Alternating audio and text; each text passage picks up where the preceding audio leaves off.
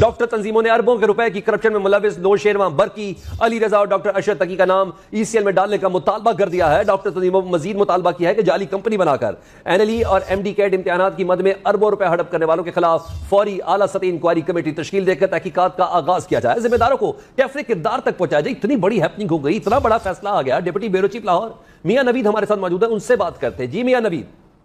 जी सलमान बिल्कुल जिस तरह इन जो पीएमसी जो काउंसिल के जो सदर अरशद तकी और नायब सदर अली रजा, जो इस जिनकी जो तैनाती गैर कानूनी करार दे दी गई है इस्लामाबाद हाई कोर्ट की जानब से, जिस तरह इनकी तैनातियाँ गैर कानूनी थी और जिनको गैर कानूनी दिया गया है, ऐसे ही एक बड़ा गपला जो है वो पाकिस्तान मेडिकल कमीशन में किया गया था। यहाँ पर मैं बताता चलूँ कि एक टिप्स नामी फर्म जो कि गैर कानूनी तौर पर जिसको पेपरा रूल्स की वायलेशन करते हुए जो है ठेका दिया गया था और मुतल फर्म ने पूरे पाकिस्तान में एनएलई और मेडिकल एंट्री टेस्ट कंडक्ट किया था, जिसमें करोड़ों रुपए का करोड़ों रुपए के गपले किए गए थे। मैं ये बताता चलूँ कि ये जो ठेका दिया गया था, ये मानव पसंद फर्म थी और इसको पेपरा रूल्स की वायलेशन करते हुए हर किस्म के जो कवानीन उसको, उसकी, उसको वायलेट करते हुए इसको ठेका दिया गया था। साथ साथ मैं ये भी बता दूँ कि इसकी, जब यह टेंडर हुआ था मुख्तलिफ़ किस्म की जो फर्म्स वहाँ पर आई थी, उस वक्त ये इसकी रजिस्ट्रेशन ही नहीं थी। इसके बावजूद इसको ठेका दे दिया गया। एक तो यह कि डॉक्टर तंजीमों की जानब से यह मुतालबा किया गया कि फौरी तौर पर सबक वजी अजम पाकिस्तान इमरान खान के कदर नुशेरमा बरकी, जो कि जो है, इस तमाम जो मामले के आलिन आल हैं उनको और उसके साथ साथ सदर डॉक्टर अरशद तकी और नायब सदर अली रजा, जो इस तमाम मामले थे मुबैना तौर पर मुलवस उनका नाम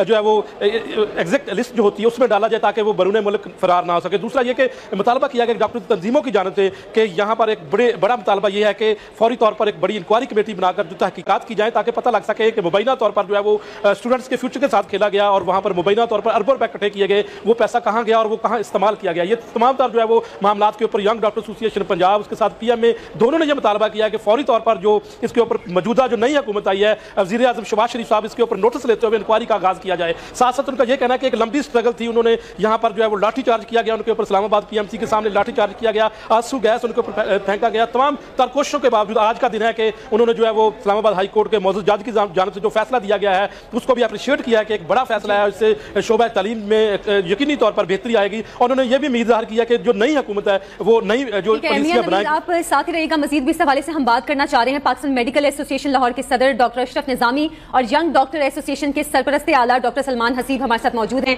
पहले पाकिस्तान मेडिकल एसोसिएशन के सदर डॉक्टर अशरफ निजामी से बात कर लेते हैं। डॉक्टर साहब, इस फैसले पर पाकिस्तान मेडिकल एसोसिएशन का मौकफ क्या है? पीएमसी ने जो मेडिकल के शोबे में बेजाबतियाँ की हैं, इसके खिलाफ कार्रवाई होनी चाहिए?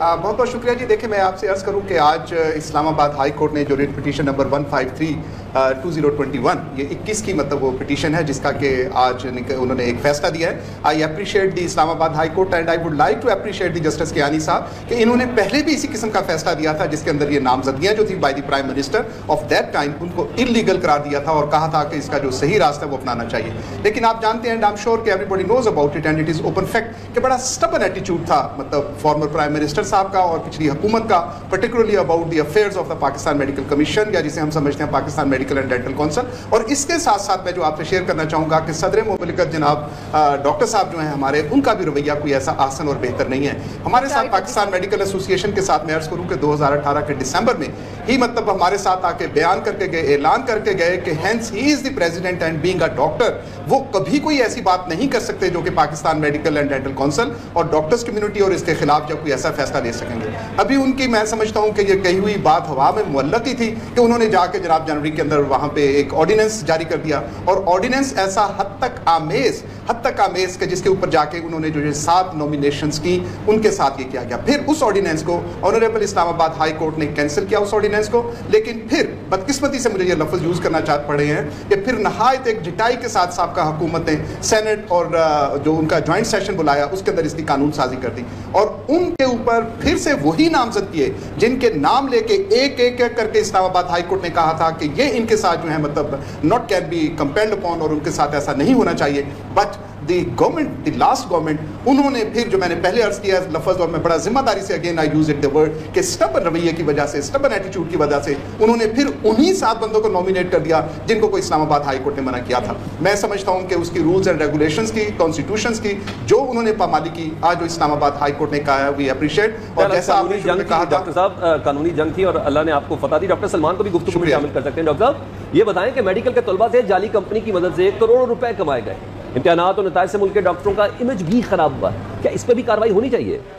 बिल्कुल आपको याद है, हमने तो पहले दिन से ही इस इशू को उठाते रहे चाहे वो इस मुबैना तौर पर जाली कंपनी के ठेके हों या पीएमसी का क्याम हो रोज़ अव्वल से यंग डॉक्टर्स एसोसिएशन पंजाब, ना सिर्फ़ पंजाब बल्कि के पी के, बलोचिस्तान और इस्लामाबाद ने इसके ऊपर भरपूर आवाज़ उठाई है। सिंध में इसके ऊपर आवाज़ उठाई गई है और आज का दिन जो है वो तारीख में सुनहरी हरूफ में लिखा जाएगा। और आज हम खराज अकीदत पेश करना चाहते हैं उन हज़ारों तलबा को, डॉक्टर्स को, जिनके ऊपर पी एम सी के नाहल अली रज़ा वकील और डॉक्टर अरशद तकी के कहने पर इस्लामाबाद की सड़कों में तशद किया गया, आपके कैमरों ने दिखाया, उनके ऊपर शेलिंग की गई, उनके ऊपर आँसू गैस फेंकी गई। और अभी तक मेरा ख्याल है कि अखलाकी तौर पर अशर तकी साहब को और अली रज़ा साहब को चाहिए था कि पहले दिन ही ये इस्तीफ़ा दे के चले जाते। ये अब बड़े रसुआ होकर जा रहे हैं।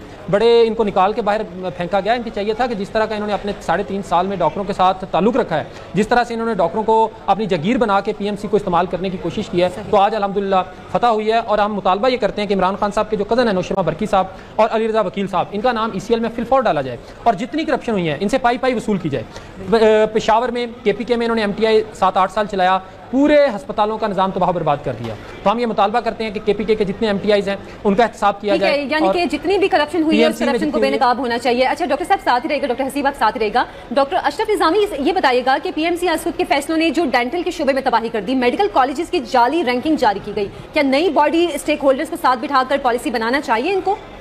मैं थोड़ा सा मतलब तसी तो नहीं कहना चाहिए लेकिन मैं आपसे शेयर कर लूँ कि आज के फैसले के अंदर कौंसल को खत्म नहीं किया गया अच्छा। जबकि हमारा मुतालबा यही है और हम still we are in struggle as Pakistan medical association कि ये जो पाकिस्तान मेडिकल काउंसिल है इसको खत्म किया जाए। और जो एक इंडिपेंडेंट ट्रांसपेरेंट और डेमोक्रेटिक हमारे यहाँ Pakistan medical and dental council थी उसका क्या लाया जाए? इसके लिए हम लाहौर हाई कोर्ट के अंदर भी हैं इस्लामाबाद के अंदर हम सुप्रीम कोर्ट के अंदर भी एप्लीकेंट हैं। लेकिन आई होप कि now there is a change of the government और इस गवर्नमेंट की तब्दीली के साथ जो हमारे काबरीन हैं जो बड़े लीडर्स हैं मुस्लिम लीग नून ने और पीपल्स पार्टी ने बिलखसूस हमारे साथ एग्रीमेंट के साथ आए थे और उन्होंने हमारी इस आवाज़ को लब्बैक कहा था कि yes the Pakistan medical commission has to be abolish इसे ख़त्म होना चाहिए और Pakistan medical and dental council का क्या लाजमी आए।